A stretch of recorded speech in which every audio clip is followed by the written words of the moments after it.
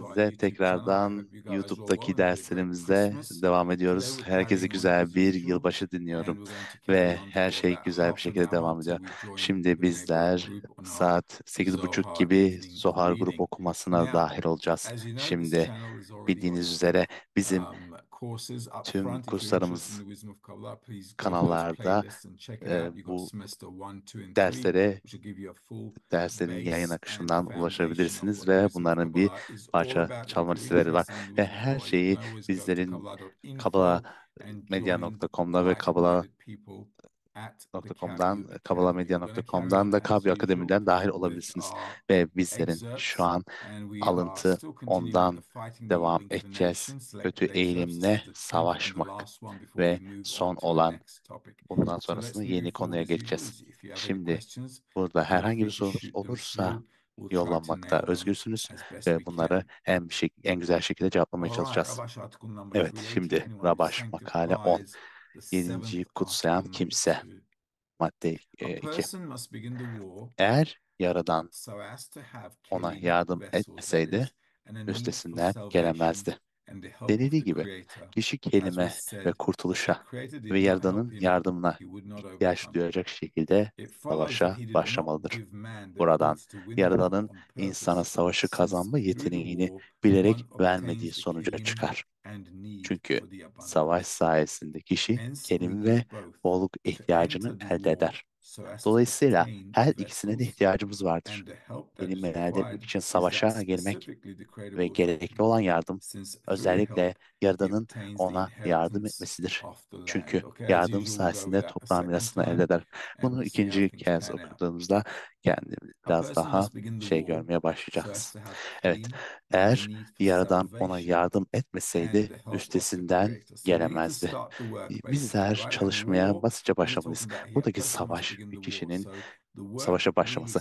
Çalışma gerçekten bizim içimizde bizler bazı şeylerin zıtlık ortaya çıktı. Bazı şeylerin zıt olarak karşıya çıktığımızda ve bizlerin sanki her şeyin bir anda bize karşı çıkmaya başladığını ve bizlerin bunun üstesine gelmeye çalıştığımızda bizlerin sürekli konuştuğumuz savaş bizlerin tüm engellerin üstesinden çıkmamızı ve kabalı bilginde ilerlemek istiyorsa kişi burada bazı zorluklarla karşılaşmalı ve bunların her seferinde üstesinden gelmeyi ve devam etmeye çalışmalı. Çünkü bu çok önemli. Bu bizlerin kendimi düzeltmem için ve tüm bunları kendimi tanımam için ve böylelikle bir sonraki aşamaya geçebilirim. Tamam. Eğer ben tek bir yolda devam eder ve bunun üstesinden çıkmaya çalışırsam benim bir kabım oluşur. Kap arzu olarak adlandırılır. Eğer benim bir arzum varsa Yaradan'ın bana yardım etmesine ihtiyacım vardır. Çünkü daha fazla engel hayatımda yani manevi hayatımda yani bizler manevi hayatta devamlı çalışıyoruz. Daha fazla engel aldıkça benim daha fazla yardıma ihtiyacım olduğunu görüyorum. Daha fazla güçsüz olduğumu ve üstesinden gelmek için yardımına ihtiyacım olduğunu. Ben sürekli bunu görmeliyim. Başka bir şekilde kendi kötü eğilimin üstüne çıkamam. Eğer ki kişiye yaradan yardım etmeseydi, kişiye üstesinden gelemezdi. Bu gerçekten çok güzel bir aşama. Çünkü kişi böylelikle gerçeği görüyor. İlk başta ben kendi başıma kendi duamdan çıkamadığımı görmem. Bu ben kendimi daha fazla engellerin üstüne yürümekle zorlamalı ve daha fazla engel aldıkça daha fazla yaradana ihtiyacım olduğunu görmeli ve kendi başıma bunun üstesinden gelemediğini anlamalıyım. Benim kötü elim aslında benim sürekli yener, sürekli benim üstüme çıkar. Bu şekilde devam ediyor. Bu kişinin herhangi bir şekilde başarı alamamasının sebebi kişinin gerçek kelime elde etmek için savaşa girmek ve gerekli olan yardımı özellikle yardımı Yaradan'ın ona yardım etmesidir. Bizlerin kötü eylemi yenme yeteneğini almamız. Bu çok önemli çünkü günün sonunda kişi herhangi bir şey yapamadığını görüyor değil mi? Yani bize ne veriliyor? Yani genelde köteliğimizin üstüne çıkmak için. Biz bunun üstüne çalışmalıyız. Sanki hayatta olduğu gibi bir şeyin üstüne çalışıyorsun ve onu ediniyorsun, üstesine çıkıyorsun. Bizler bunların kendi arzularımızın, klimimizin büyümesiyle oluşur. Eğer ışık ve arzu birleşirse arzu bir anda yok olur. Bizler eğer Yaradan tüm bolluğunu almak istiyorsak büyük büyük bir arzu ihtiyacımız var ve bizler tüm engellerin üstesinden gelmeli ve başarılı olmalıyız. Eğer vazgeçmezsem benim arzum, alma arzum, manevi olarak alma arzum daha fazla daha fazla büyüyecek. Eğer başarılı insanlara bakarsak onlar gerçekten bireysel olarak çok ama çok başarılı bir şekilde kendilerini insan gücünün üstesinde bir çabayla itmelerini, daha fazla başarısızlıkla yaklaşırsa, daha fazla hayat onlara başarısızlık verse de vazgeçmezler ve kontra bir şekilde kendilerini iterler, iterler ve daha çok üstesine gelirler. Ve bu kişinin arzusunu büyütür.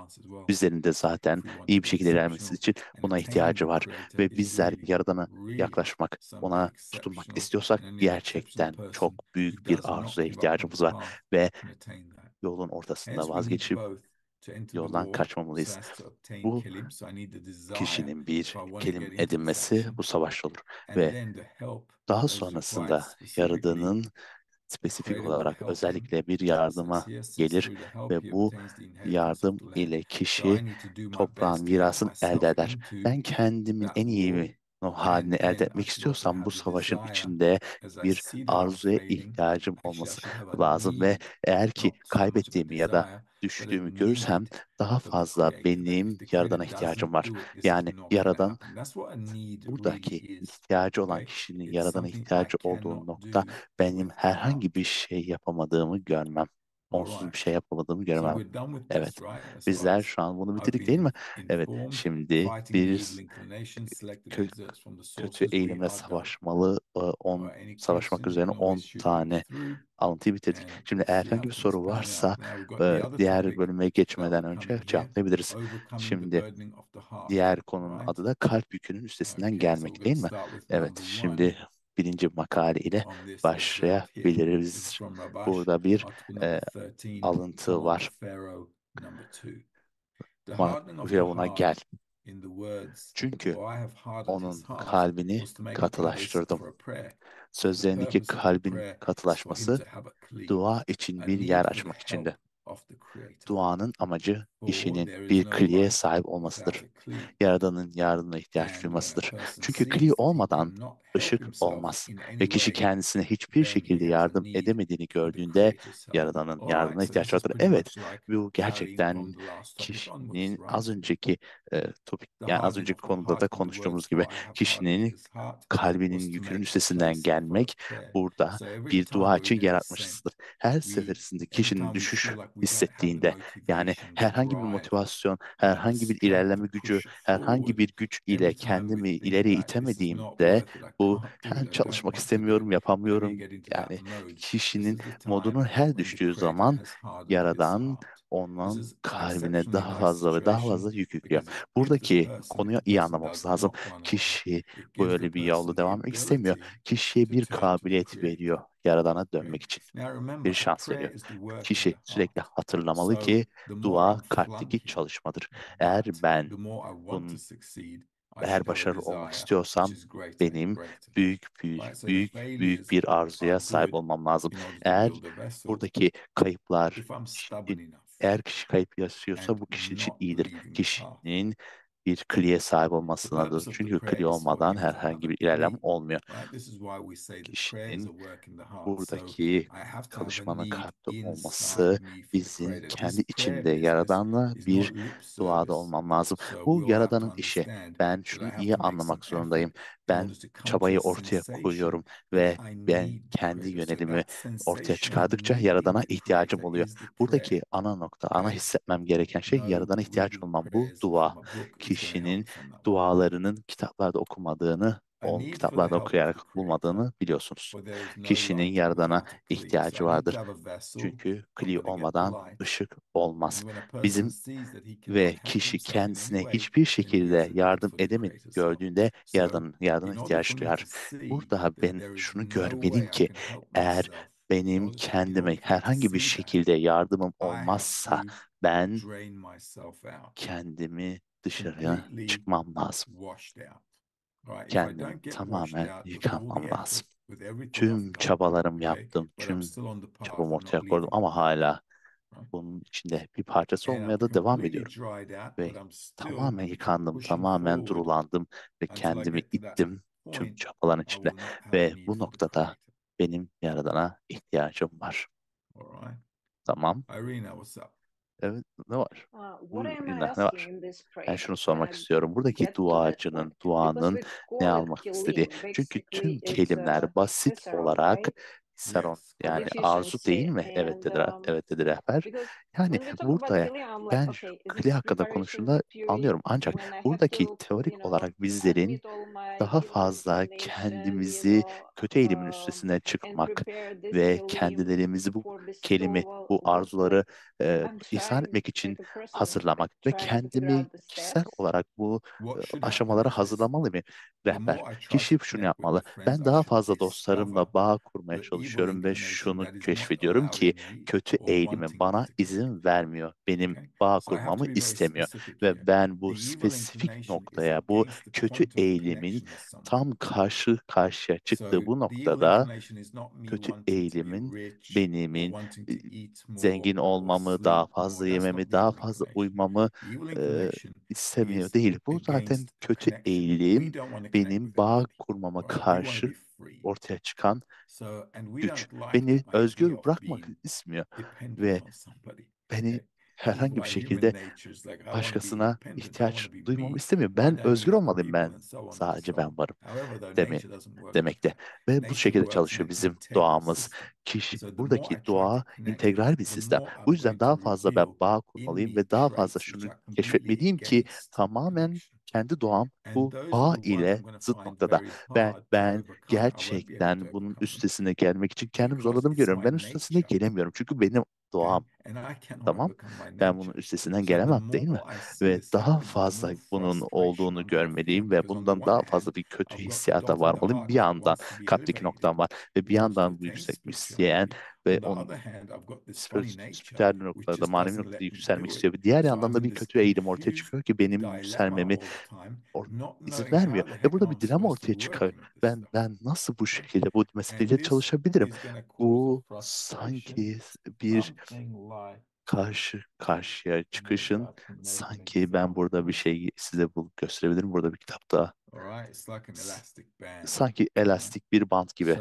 Yani ben ben bunu burada bir gerginlik oluşturmam lazım.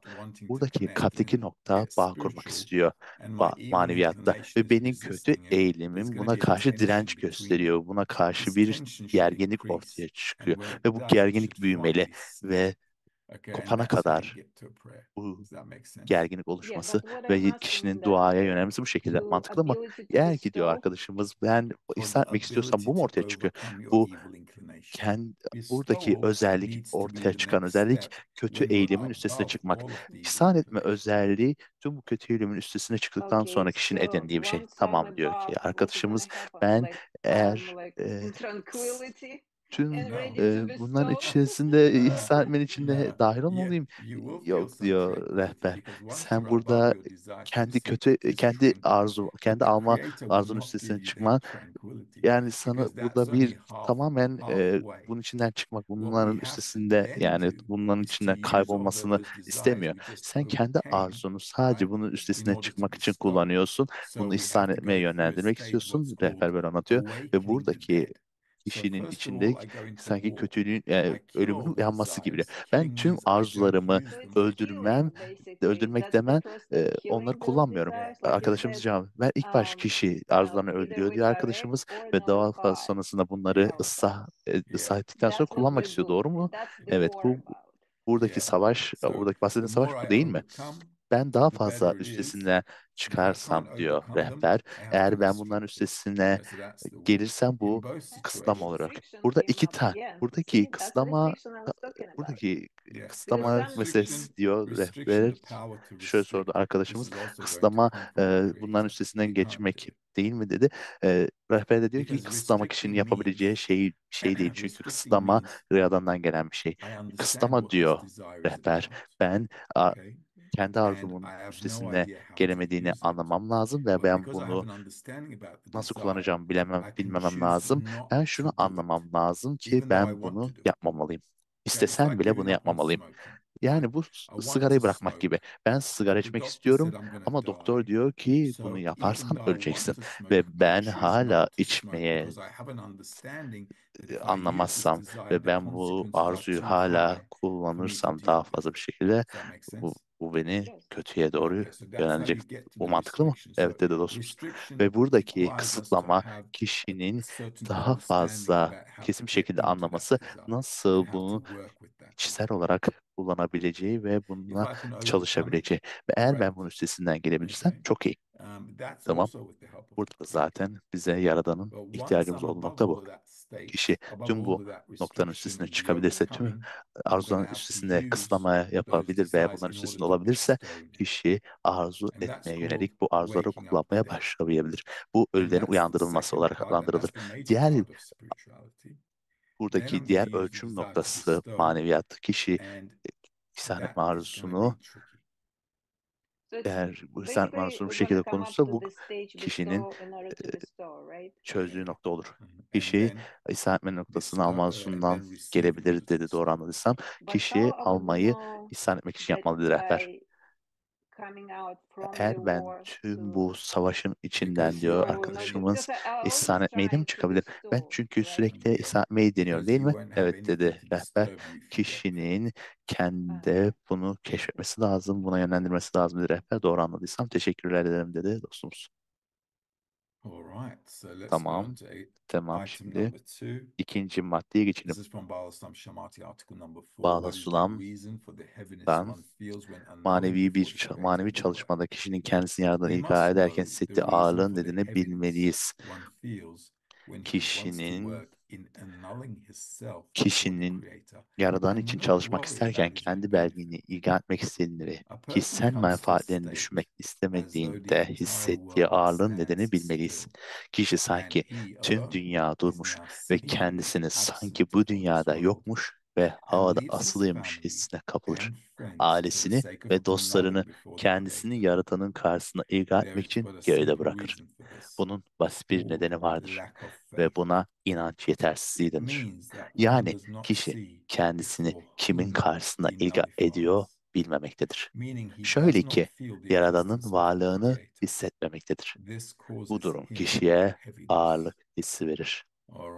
Let's read that again. Evet, onu tekrar We must know the reason for the heavy Bizler kişinin yaradan için çalışmak isterken kendi benliğini iga etmek istediğinde ve kişisel menfaatlerini düşmek istemediğinde kişi her seferinde şundan endişe duruyor.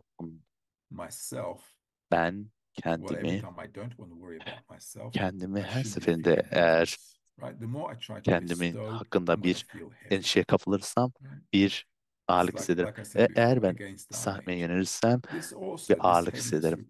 Bu burada çok fazla dönecek şey var. Buradaki oluşan safhada kişi Kabala ilmetini çalıştığında burada Yaradan'a kişinin herhangi bir şekilde ağırlık vermek. Yani bizler e, sanki bir anaokuldayız ve orada milkshake, cips ve la la la la takılıyorum ve sanki parkta yürüyorum. Daha fazla daha fazla çalışmanın içine girdiğimde kişi daha fazla ağırlık hissetmeye başlar. Çünkü ilk başta çünkü benim çalıştığım maddeler, dersler çok zor. Geceliğin çalışıyorsun ve sabahleyin erken uyanmak zorundasın. Zaten ego bunu yani gecenin en güzel anında neden uyanmak isteyeceğini sorup durur. Ve ben buradaki rutinin içerisinde ego şunu yapmaya, savaşlamaya başlar. Bunun adı ağırlık. Eğer ben basit güzelce çalışsaydım daha fazla ağırlık hissetmeye başlarım. Çünkü daha fazla ağırlık alıyorsam kendimi daha fazla bu a, içinde bu durumun içinde kalmak istemekte uzaklaşırım yani daha fazla bu doğadan çıkmak isterim. Burada kişi herhangi bir ağırlık hissederse burada şunun sinyalini kişinin yerini alır. Neyin üstünde çalışmalıdır? Kişi tüm dünya sanki yokmuş ve havada asılıymış hissine kapılır. Ailesini ve dostlarını kendisini yaradanın karşısında ilk etmek için geride bırakır. Bunun basit, e, burada kişinin zaten kendini kayıp hissettiği nokta çok fazla olur kişiye. Yani hiçbir şey anlamıyor, ne yapmalı bu dünyada ve yani burada maneviyatta ben ne yapıyorum? Sanki tüm yerlerde bu var. Ve ben gerçekten burada tüm çalışmanın yapısı bunun üzerine ve ben kendimi kaybetmişse bu gerçekten çok iyi. Yani kişi burada tüm dünyanın karşısında durmuş ve havada sinek kapılır. Ailesini ve dostlarını kendisini yaratanın karşısında ilk harp için geride bırakır. Bunun basit bir nedeni vardır. Bunun inanç sesi denir. Yani kişi kendisini kimin karşısında eğil ediyor bilmemektedir. Ben kendimi daha fazla eğilmek istersem kendi hislerimi kaybetmek isterim. Eğer ben kontrol içinde olmadığımı anlarsam, benim kendi doğamı beni yönettiğimi anlarsam, hadi tüm bu kontrol içinden çık der kabalistler. Ve kendimi daha fazla eğmeye çalıştıkça her zaman egom ortaya çıkıyor ve zıplıyor. Ve kendimi eğmek istediğimi kendimi sanki daha fazla egonun kontrolünde olduğumu hissediyorum. Kendimi hayatın iplerinden bırakmak istediğimde, kendimi kurtarmak istediğimde bir anda tüm bu egonun ortaya çıktığını görüyorum. Bu sebeple kişi ağırlık ve buna ağırlığa inanç eksikliği denir. İnanç eksikliği yaradanı hissetmenin, yaradanı hissetmenin eksikliğidir. Yani eğer ben daha fazla iyiliğimi görürsem, ey insan ve karşısında ve ben bunu şunu görebilirsem buradaki büyük resmi anlayabilirsem ben bunun içinde olmadım. Çünkü ben başkalarına isap meyvesi sevmeyi yani benim deremin dışarısına çıkmam oluyor ve ben bunu yapamıyorum. Yani buradaki kendimin arzularımın içine tüm doğamın içerisinde kişi sanki yapamadığını, bunu yapmak istediğini, hiçbir insanın bunu istemediğini görüyorum.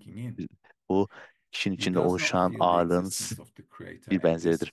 Burada kişiye ağırlık hissi getirir. Kişi her seferinde ağır hissettiğinde şunu anlamalı ki bizler Yaradan'ı hissetmiyoruz kendi aramızda. Bunu çok iyi anlamamız lazım. Haydi. 6 dakikamız var Zohar'a geçmeden önce. Rabaş, Rabaş makalesi 3 yarım çalışmadaki yarım şeken ne manaya gelmektedir. Hemen yolluyorum dostlar.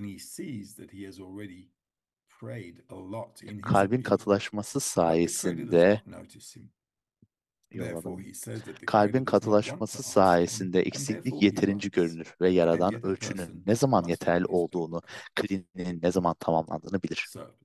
Bu nedenle tekrar diyor. Baştan okuyoruz. Kalbin katılaşması sayesinde daha fazla kişinin böyle bir eksikliğe, böyle katılaşmaya yaklaşması benim daha fazla Yaradan'a ihtiyacım olduğunu göstergesidir. Neden bu şekilde diyor? Yani Yaradan bana tam olarak nasıl bir tamamlama yapacağını Yaradan biliyor. Yani bana herhangi bir parça bırakmıyor aslında. Yaradan bana he her seferinde beni masajlıyor maneviyatın içinde. Bu zaten bizim yapmamız gereken şey. Masajlamamız lazım kendimizi maneviyatın içerisinde yavaş yavaş. Bu nedenle çalışmadan bazen kişi kendini görüşüne göre zaten çok dua ettiğini ve çalışmadan kaçar. Okay, we Yaradan onu think fark etmediğini we gördüğünde şöyle düşünüyoruz. Ben çok dua ettim ve herhangi bir yardım almadım. Çünkü Yaradan herhangi bir şekilde duamı cevap vermedi.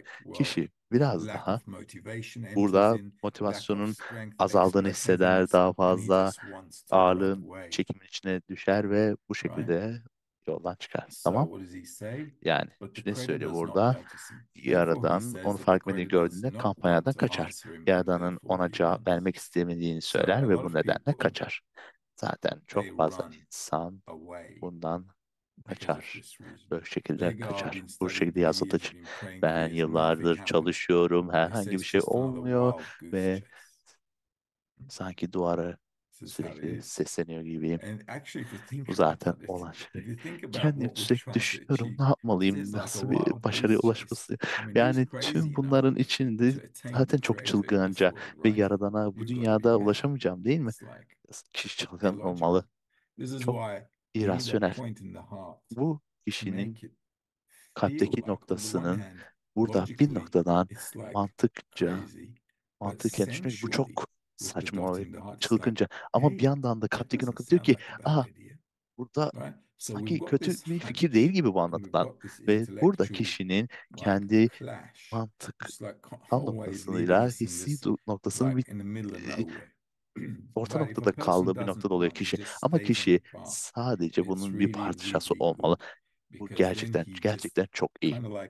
Sanki tamamen kendini bırakmış bunun içerisinde ve buradaki gösterdiği of desert, çaba bu noktada kişi sanki bir yağmurun bir damlayla başlaması out. gibi. Buradaki en önemli şey burada kişi nasıl bir durumun içinde olduğu, nasıl bir geçi, geçtiğinin önemi yok. Bu durumun üstesinden çıkmalı.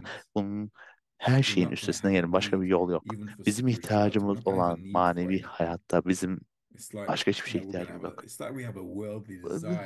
Tüm dünyadaki arzular, buradaki ne yapıyorsun buna değer yok dese bile tüm dünyadaki arzular bunlar 99% değersiz görse de ki population yüzde never yüzde get anything done in life %99'un hayatında hiçbir şeyin olmadı. Bu gerçekten bizlerin içindeki bu durumun olması gerçekten çok değersiz görülebiliyor. Ama hayattaki çok az insanın başarılı olması da maneviyattaki çok az insanın manevi dünyada başarılı olması da bununla benzer. Bu bizim çalışmamızın eşleştiği. Anne bizlerin iki tane sorusu var dedi. Nerede sorular bir daha ver. Dostumuz sormuş. Tüm buradaki e, çalışmanın daha fazla friends? tüm e, dostlardan uzaklaşmak nasıl bu olduğuna nasıl söyleyebiliriz? Biz bunu söylediğimizi diyor rehber. Hala kişi daha fazla üstesine çıkmalı. Yani herkes bu tip durumların içerisinden geçiyor ve bizlerin ne yapması lazım? Daha fazla plan yapmamız lazım ve Ama zaman planlamamızı iyi yapmamız lazım. Daha fazla uyumak, daha fazla çalışmanın içerisinde kendi e, çalışmam içerisinde günlük bir plan yapmam lazım ve buradaki e, her şeyin içerisinde ikinci um, nokta ise şunu en iyi şekilde kendini zorlamak lazım. Yani eğer güzel benim güzel good planım varsa ve if I bunda have a güzel bir çalışma planı içerisinde günlük bir programın içerisindeysem ben burada daha fazla dua ortaya çıkartıyorum. Eğer sen her şeyi yaptıysan elinden gelen ve daha fazlasını ortaya koyamıyorsan. Günlük programın içerisinde senin duan ortaya çıkartır. Sen eline gelen her şeyi yaptın ve sana başka bir cevap vermedi Yaradan.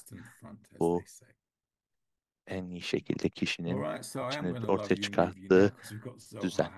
Yani biz şu an best, have a Zuhar'a great week, geçmekteyiz ve hepinize güzel bir hafta diliyorum ve bir sonraki salı günde görüşmek üzere. Bay bay.